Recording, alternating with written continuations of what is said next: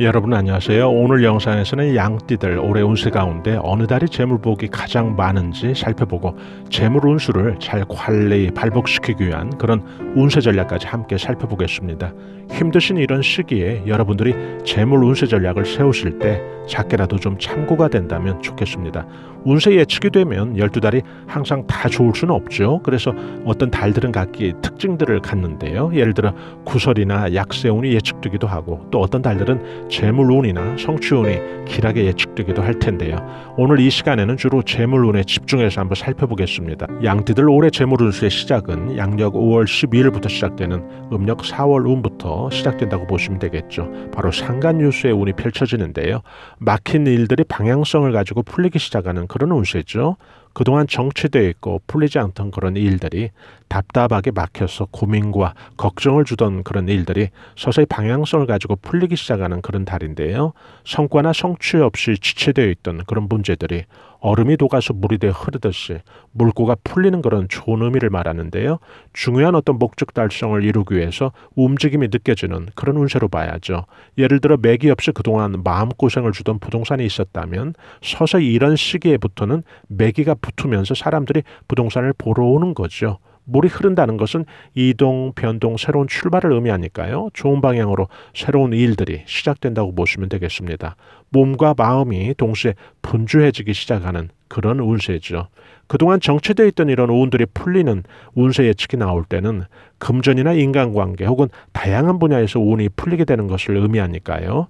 운세 작용이라는 게 결국 모든 부분에서 동시성을 가지고 이루어지기 때문에 그런데요. 이런 때 운세 전략은 예를 들어 막혔던 인간관계 혹은 뭐 남녀 간에도 마찬가지입니다만은 그런 인간관계가 있다면 결국 이런 시기에는 여러분들께서 전화나 문자를 좀 해보시면 좋죠. 여기서 좀 주의하실 것은 이 경우 좀 가벼운 안부만 전하라는 것인데요. 보통 이런 경우 상대가 좀 경청하는 느낌이 들면 처음엔 좀 가볍게 시작한 화제가 점점 심각해질 수가 있는데 이런 경우 무슨 결론을 얻으려고 하지 말고 가볍게 대화를 유지하는 것을 집중해야 하는데요. 풀리는 운세라는 것은 예를 들어 장사를 하시는 분들 혹은 사업을 하시는 분들 같으면은 이런 시기에는 손님이 좀 늘은 것 같아 사업의 매출이 좀 늘은 것 같아 이런 심리적인 체감 지수에 머무르지 않고 정말 월말에 결산을 해 보니까 전달보다 좀 매출이 눈에 띄게 나아져 있는 그런 운세를 의미하죠. 이런 때 운세 대응을 잘하면 상승 운으로 오랫동안 머물게 할 수 있으니까 중요한 어떤 운의 분기점도 될 수 있겠죠. 양띠들에게 음력 5월 운세가 좀 눈여겨보셔야 되는데요. 수륙천금의 운세가 펼쳐집니다. 수륙천금의 운세라는 것은 손으로 천금을 희롱할 정도로 1년 12달 가운데 목돈, 운, 또 돈의 융통과 흐름이 가장 좋은 달인데요. 목돈이 움직인다는 거죠. 부동산 매매로 인한 혹은 이동, 이사를 앞두고 또는 수입 지출, 또 큰 거래가 발생하면서 내 수중에 목돈이 들어오게 되는 그런 운을 말하는데요. 제법 좀 돈의 규모가 있는 그런 돈들이 움직이는 거죠. 여기에서는 또 뭘 가장 조심해야 될까요? 바로 사기 조심이죠. 가장 돈 운이 좋아서 큰 돈이 융통이 된 상태에서 사기를 피하지 못한다면 그 피해나 충격이 크기 때문이죠. 그래서 여러분들도 결국 운세에서 좋은 운세 이면에는 항상 우리가 좀 조심하고 주의해야 될 그런 운도 함께 들어있다고 이해하시고 늘 여러분들이 운세 전략을 세우실 때 현명하게 신중하게 운세 전략을 세우실 필요가 있겠죠. 여러분이 운세 예측을 들으실 때 또 한 가지 아시면 좋은 게 운이 길한 운이 예측이 되면 그런 달은 좀 전반적인 부분이 모두 길하게 전개된다고 보시면 좋고요. 특히 이 금전이나 재물 쪽으로 뭔가 실속 있게 모아지고 쌓여지는 그런 운세 예측이 있었다면 항상 그 다음 들어오는 운이 어떤 운인가를 한번 잘 살펴볼 필요가 있는데요. 예를 들어 연속으로 길한 운이 이어질 때는 괜찮은데 구설이 들어오는 달은 이런 경우에는 돈 거래는 정말 유의하시고 돈을 빌려주는 것은 삼가해야 되죠. 액수를 떠나서 결국 뒤에 오는 구설이 결국 금전이나 돈, 재물로 인한 손재수를 의미할 가능성이 크기 때문이죠. 결국 양띠도 5월 달에 이런 수륙천금의 왕성한 금전 재물운이 지나가면 6월이 되면 맹인실장의 운으로 바뀌는데요. 결국 조심하시란 얘기죠. 맹인실장의 운세라는 것은 좋은 운세, 길한 운세는 아니거든요. 맹인이 지팡이를 짚고 가야 되는데 그 지팡이를 잃어버린 형국을 의미하니까요. 굉장히 조심해야 되는 그런 달이죠. 운세 전략을 좀 슬기롭게 할 필요가 있는 거죠. 장님한테 지팡이가 없어졌다면 그 순간 앞길에 대한 불확실성이 커진 것을 의미하니까요. 이런 달에는 좀 특별히 조심해야 되는 거죠. 7월달 운세를 살펴보겠습니다. 양띠들 7월달 운세 금계포란의 운세가 형성이 되는데요. 금계포란의 운세라는 것은 결국 실속 있게 작은 것들을 품어서 나중에 옥동자를 만들듯이 큰 것을 만들 그런 준비를 하는 운세를 의미하겠죠. 품는다는 것은 여기에서 금전이나 실속 있는 알을 의미하기도 하고 또 사람을 품는 사람을 잉태하는 것도 함께 의미하죠. 금전운도 제가 앞서 말씀드린 대로 작은 것을 품는다고 했듯이 실속 있게 쌓여가는 것을 의미하죠. 여기서 여러분들이 또 한 가지 잘 기억해 두시면 좋은 게 인간관계에 있어서도 결국 이런 시기에는 여러분들께서 알을 품는 그런 정성으로 누군가를 좀 품는다면 그런 좋은 어떤 인간관계를 유지했다면 결국 그런 인간관계가 나중에 여러분들에게 큰 덕이 되는 그런 실속 있는 귀인의 역할이 되어 있다는 건데요. 결국 이런 달은 후일을 위해서 여러분들이 준비하고 계획하고 품는 그런 운세를 의미하겠죠. 여러분께서 운세 예측을 들으실 때 이 금계포란의 운세 지금처럼 이렇게 예측된 달에는 항상 구설은 조심하셔야 됩니다. 결국 여러분들의 이름이 타인에게 오르락 내리락 하지 않게 해야 되는데요. 그러기 위해서는 여러분들께서 좀 적당히 미리 인간관계에 있어서 적당한 거리두기를 하면 좋겠죠. 무엇보다 이런 시기에는 황금닭이 알을 품는 그런 형국을 의미하는 것처럼 예를 들어 황금닭이 알을 품으려면 집중하려면 시끄럽고 또 신경 쓸 그런 구설들이 생기면 집중해서 알을 품을 수 없잖아요. 그래서 특히 구설 같은 것을 조심하라는 얘기죠. 운세 예측이 길하고 또 좋은 운으로 이렇게 나온 달에는 여러분께서도 좀 집중해서 운세 대응을 하실 필요가 있는데요.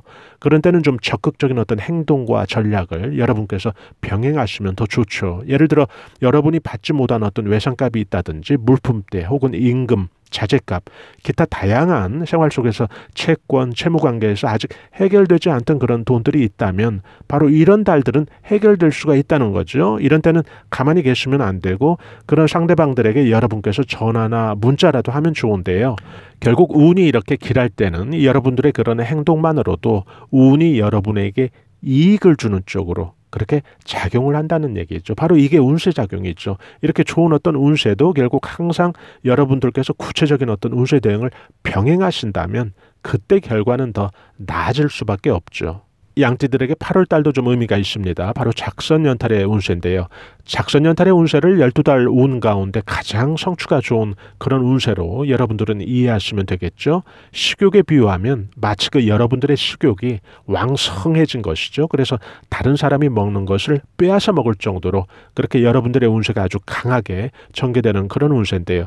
문서적인 성취 또 문서운이 제일 좋은 달로 보시면 되고요. 또 이런 달에는 변화나 변동 또 투자나 부 동산 이사 매매 진급 아주 생활 속에서 다양한 분야에서 성과가 두드러지게 좋은 그런 운세를 의미하니까요. 뭐 시험 보는 사람들에겐 합격증, 자격증도 문서가 될 수 있고요.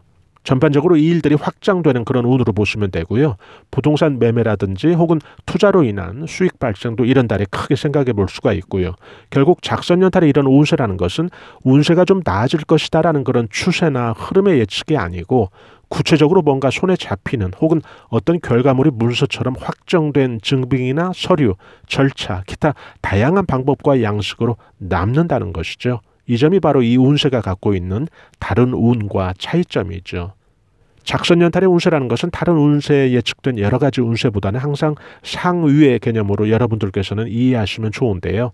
즉 이달의 특징과 운세를 작선연탈의 왕성한 성취운으로 운세 예측이 되었다면 결국 귀인의 도움이라든지 문서 변동, 이동, 연애 애정의 길한 흐름이라든지 또 사업이나 투자에 있어서 혹은 투자의 수익에 있어서 정말 뜻하지 않은 기대하지 않았던 횡재수의 그런 운세 등도 바로 이 작선연탈의 운세에 포함되어 있다는 것이죠. 이런 의미에서 살펴봐도 우리가 이 운세를 어떻게 대우하고 또 실제 생활에서 우리가 어떻게 가치 있게 운세 전략을 준비해야 되는지 답이 나오는 거죠. 음력 10월이 되면 상간유수의 운세가 펼쳐지는데요. 상간유수의 형국이라는 것은 커다란 재물복을 의미하는 것은 아닌데요. 막혀있던 정체있던 풀리지 않던 그런 재물복이 숨통이 트여지는 그런 운세까지는 또 해당이 되니까 결국 이런 달도 재물 운세 쪽으로는 우호적인 환경인 것이죠. 그동안 정체되어 있고 풀리지 않던 그런 일들, 답답하게 막혀 있던 그런 고민과 일들이 서서히 방향성을 가지고 풀리기 시작하는 거죠. 성과나 성취 없이 지체되어 있던 그런 문제들이 얼음이 녹아서 물이 되어 흐르듯이 물고가 풀리는 그런 좋은 의미를 말하는데요. 중요한 어떤 목적 달성을 이루기 위해서 움직임이 느껴지는 그런 운세로 봐야죠. 예를 들어 매기 없이 마음고생을 그동안 주던 부동산이 있었다면 서서히 이런 시기부터는 매기가 붙으면서 사람들이 그 부동산을 보러 오는 거죠. 물이 흐른다는 것은 이동, 변동, 새로운 출발을 의미하니까요. 좋은 방향으로 대체적으로 새로운 일들이 시작이 된다고 보시면 되는데요. 동시에 몸과 마음이 분주해지기 시작하는 그런 운세로 보시면 되겠습니다. 그동안 정체되어 있던 이런 우운들이 풀리는 이런 운세 예측이 나올 때는 금전이나 인간관계 혹은 다양한 분야에서 운이 풀리게 되는 것을 의미하니까요. 운세작용이라는 게 결국 모든 부분에서 동시성을 가지고 이루어진다고 보시면 되겠죠. 이런 때 운세 전략은 예를 들어 막혔던 어떤 인간관계 혹은 남녀 간에도 마찬가지입니다만은 이런 때는 여러분들께서 전화나 문자를 해보시면 좋죠. 여기서 좀 주의하실 것은 이 경우 좀 가벼운 안부만 전하라는 것인데요.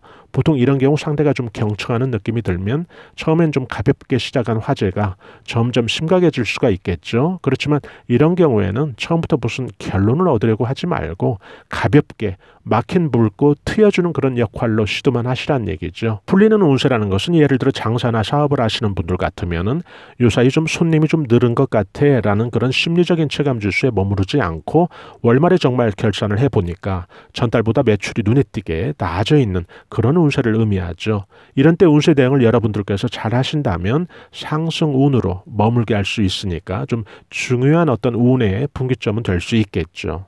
음력 12월 달의 운세도 간접적으로 재물 운수로 길하게 작용을 할 텐데요. 유아복무의 운수가 펼쳐지기 때문에 그런데요. 유아복무의 운수라는 것은 결국 울다 울다 지쳐 잠들어 버린 아이에게 어머니가 나타나서 젖을 물려주는 그런 형국이죠. 여기서 어머니는 귀인을 의미하니까요. 귀인이 나타나서 막힌 재물 운수에 숨통을 트이게 할 가능성이 있는 거죠. 여기에서는 귀인이 나에게 도움을 주는 운세니까요. 새로운 귀인이 나타날 수도 있고 혹은 그 전에는 별로 나한테 덕이 안 된 그런 사람 도 내 운이 강할 때는 이런 운에는 나에게 도움이 되는 역할로 바뀌어 있는 거죠. 동시에 또 일의 해결이 뜻한 방향대로 성취되는 것도 함께 의미하니까요. 해결과 발전이 되는 거죠. 새로운 어떤 변화가 모색되면서 그동안 막혔던 일들이 막혔던 재물 운수가 숨통이 트이는 그런 운세로 보시면 되겠습니다. 재물 발복이나 금전 운으로 좋은 운세 예측이 된 경우에 또 여러분들이 할 수 있는 구체적인 그런 운세 전략은 재물 운이 왕성한 달과 또 재물 운으로 유리한 그런 달을 좀 구별해서 대응 전략을 하시면 좋은데요. 첫 번째 같은 경우 예를 들어 문서적인 성취 운이라든지 12달 가운데 목돈 운이 아주 왕성한 정말 재물 발복이 아주 큰 그런 달에는 좀 사업하시는 분들 같으면은 확장, 변동, 좀 다변화 전략으로 공격적으로 좀 보폭을 넓힐 필요가 있고요. 또 받을 돈이라도 있는 분들은 상대방 상대방에게 이런 시기를 통해서 전화나 문자로 채권 채무 관계 상황을 한번 주지시킬 필요가 있고요. 또 투자하시는 분들은 투자액을 좀 높여본다든지 또 목표 수익률을 좀 평소보다 높여서 대응을 하신다면 수익률에 아주 도움이 되겠죠. 두 번째 같은 경우 예를 들어 왕성한 재물운은 아니지만 재물운으로 좀 유리한 그런 운세다 생각이 되시면 좀 기민하고 순발력 있게 대응하시면 좋은데요. 사업하시는 분들 같으면 큰 보폭보다는 좀 평상시의 보폭과 전략을 유지하면서 내실을 기하는 그런 운세 전략이 좋고요. 또 투자하시는 분은 목표 수익률을 조금 낮추고 일부 좀 현금화하는 그런 전략이 좋은데요. 결국 다음에 좋은 운이 들어왔을 때 탄력적으로 대응하기 위해서 좀 미리 준비하는 그런 운세로 이해하시면 되겠죠. 지금 첫 번째, 두 번째 공통적으로 다 적용되는 사항은 여러분들의 재물 운수가 아주 좋고 강할 때는 동거래는 좀 자제하라는 것이죠. 동거래가 그 액수가 중요한 것이 아니고 금전이 쌓여져야 하는 그런 운세에서 동거래라는 것은 결국 재물을 쌓여지게 만드는 그런 행위는 아니기 때문이죠. 양띠들의 올 한해 운세 가운데 간단히 재물운 또 재물복 들어오는 달 그리고 운세 전략까지 한번 살펴봤는데요. 또 이런 정보가 여러분이 재물 운세 전략을 세우시는데 좀 작게라도 도움이 된다면 참 좋겠습니다. 양띠 여러분 모두 크게 성취하는 그런 시간들이 되시길 바랍니다. 저희 감성 수초야 TV에서는 중년들을 위한 자기 개발과 감성 충전을 위한 다양한 정보들을 제공해 드리고 있는데요. 좋아요와 구독으로 실시간 무료로 저희 채널에서 제공되는 이런 정보들을 편하게 받아보실 수 있으니까요.